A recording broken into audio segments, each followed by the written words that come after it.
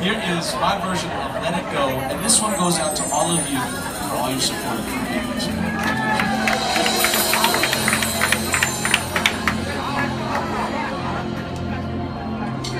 Of All